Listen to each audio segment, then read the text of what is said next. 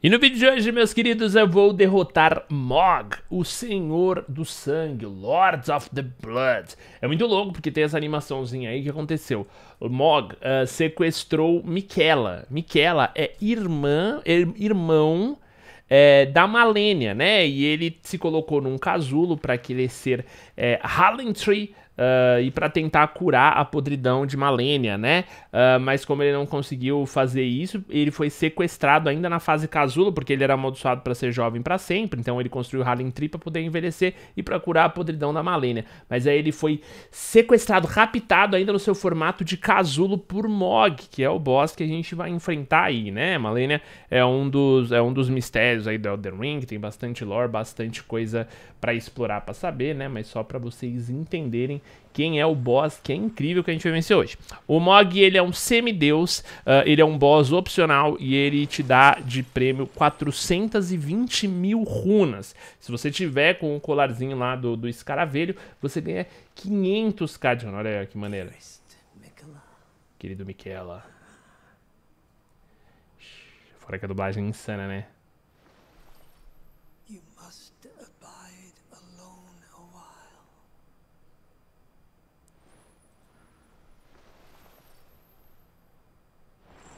É, isso aí, manos. Vamos então lá. Hora do guiazinho de como você vai matar Mok, o Senhor do Sangue.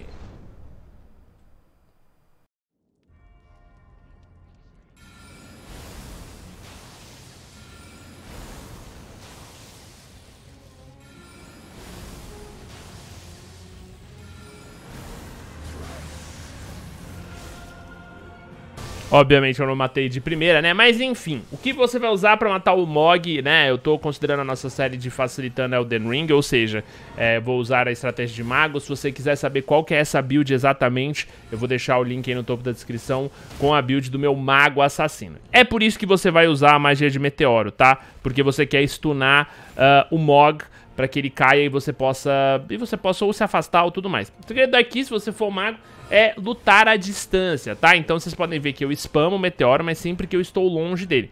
O moveset do Mog é bem simples e bem tranquilo. Ele tem um ataque mais complexo.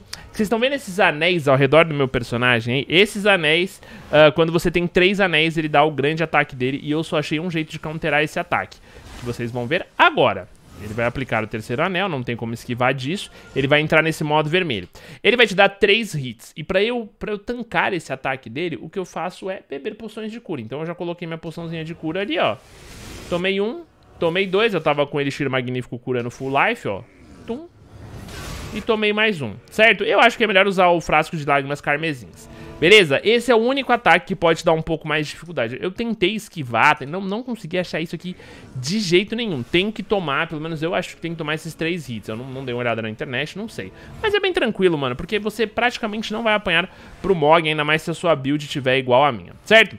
Uh, o Mog ele dá muito sangramento, tá? Isso é meio chato. Vocês estão vendo esse, esse, esse, essa, essa, esse líquido vermelho, né? Esse, esse guspe vermelho que ele solta. Esse guspe é foda. Uh, mas, ó, você vê que mesmo nessa estocada, observa que nessa estocada ele deixa um rastro no chão, né? Ele sobe, ele joga o rastro. Então, qual que é o segredo? É você tá sempre tentando manter a distância. Ele muitas vezes vai tentar tirar essa distância. Mas se você tiver com a esquiva certinha aí, ó, você não toma dano do chão, tá? Você não pode ficar parado contra o Mog. Eu morri algumas vezes porque eu fiquei parado em locais onde tinha essas chamas ou as marquinhas de sangramento. Então ele joga, é arremesso de sangue. Ele tem dois praticamente. Ele tem uh, o arremesso que vai horizontalmente, ele tem um arremesso vertical, né, bem retinho, uh, e ele deixa sangramento quando ele bate com o tridente, né? Então, ó, quando ele bate, vocês podem ver que só, esse aí é o vertical, certo? E é bem tranquilo, mano. Você vai ficar afastando sempre dele. E, mano, eu, eu inclusive fico surpreso que ele dê tanto ponto, assim. É que eu tô meio forte e tal, né? Mas enfim, mas... Mano, ele dá muito ponto, né? Eu precisei de umas... Seis, sete tentativas pra pegar uh, tudo dele. Você vê que eu ainda não decorei necessariamente aí o moveset inteiro, né? Mas é bem fácil, é bem evidente os ataques dele. Tipo, ele prepara muito, ele puxa a arma, ele levanta... Então achei que no final das contas foi fácil. Tem um bug pra matar o Mog, tá? É, eu não sei se arrumaram, mas dá pra você pular essas paredes aí uh, e você consegue matar ele sem que ele reaja, tá? Mas eu achei que não era tão válido explicar esse bug, não, porque o bug é fácil. Você pula as paredes ele fica parado ali na frente, do lado do, do corpo, né, do Miquela. Então... Eu particularmente acho, não acho um jeito legal matar o boss, porque é uma boss fight particularmente tranquila, né? Então eu quis ensinar vocês a, a vencer a boss fight aí, uh, mas sem necessariamente também bugar o game, né? Talvez se você estiver fazendo a run de nível 1, vale a pena, mas se não, acho besteira, certo? Uh, bom, vocês podem ver que eu sempre vou me afastando, meteoros, me afastando, meteoros. Quando ele se aproxima um pouco ali, ó, mais ou menos essa distância, ele vai tentar me bater. Então é melhor você se preparar. A dica que eu posso dar é não gaste stamina à toa, tá? Porque é, tem vezes que ele entra numa sequência de ataque e se você ficar em cima de algum lugar com sangramento, ó, que nem, ó, você viu que eu esquivei pra trás aí, ó? Ó, o sangramento subindo, vocês viram? Isso aqui é um erro, mano. Quando ele vier e dar um ataque, tipo, reto, ó, vai pro lado, mano. Olha eu, olha eu indo pra trás, ó o sangramento ali, ó. Se ligou? O que você não pode fazer é só entender, mano. Ele vai ter ataques que vai dar sangramento horizontal e vai ter ataque... Ó, olha, ó, a faixinha de sangramento. O jogo ainda deixa bem na cara, né? Coloca fogo e tal. Olha o meu sangramento. Olha aí, ó. Se liga nessa, nesse momento da partida aí, ó. Aí, eu tô, mano... Blood Loss ferrado, velho. Quase fui de base, né? Mas ele já tá bem miado aí. Então eu sabia que, que daí pra frente não teria muita dificuldade, certo? Ó, sente a pressão. 500 mil runa facinho pra você, hein? Aí, ó, ele acerta mais um, ó, porque é óbvio que você tá acabando. Você, quer, você, você ficou usado, né? Você quer ir pra cima. Usei bastante mana até, né? Mas tem que dar, mano, a partir do momento que o cara dá espaço pra você jogar um meteorinho, mano... E olha minha XP, minhas runas ó, 74 mil runas. Olha pra quanto nós vai. É cabuloso, tá? É cabuloso, não é um boss muito difícil. Uh, mano, você vê, a gente é mago, eu uso, pô, armadura que não me dá muita defesa.